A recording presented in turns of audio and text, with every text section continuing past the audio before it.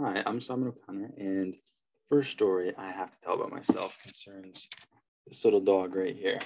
So he's a Chihuahua mix, and we got him uh, three or four summers ago now. And when he first came to our house, we weren't sure how it was going to go over because we have another dog already, and our other dog is probably about 10 times the size of little Duncan here.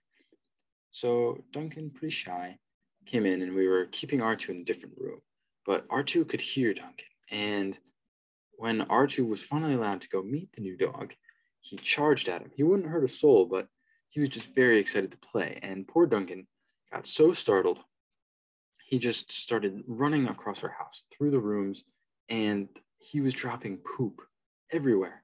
As he ran, it was just leaving a trail. It was so funny. And that was our first first experience of our two dogs meeting. Now they get along great, but the uh, the first time was pretty interesting. My other funny story has to be last Memorial Day when my family and I went to Old Orchard Beach, Maine.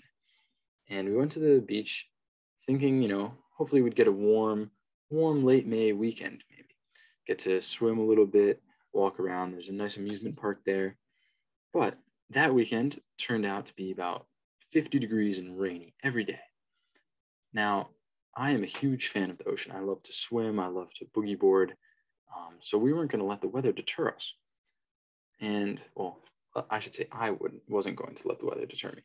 So I convinced my parents that we should rent wetsuits so we could go in the ocean despite the freezing temperatures.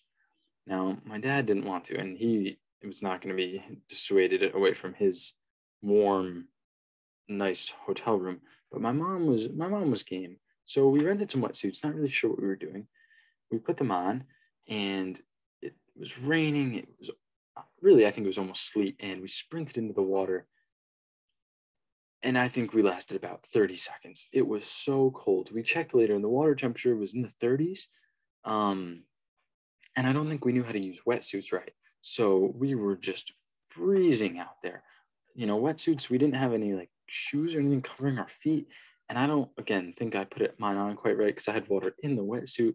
And so we had a very fun 30 seconds in the ocean. The waves were huge because the weather was terrible. Um, but the freezing rain and freezing temperatures in general did not make it the best trip I've ever had to the ocean. But it's uh, it's a good story now. So I think those would have to be two of my my uh, first funny stories that come to mind. Thank you.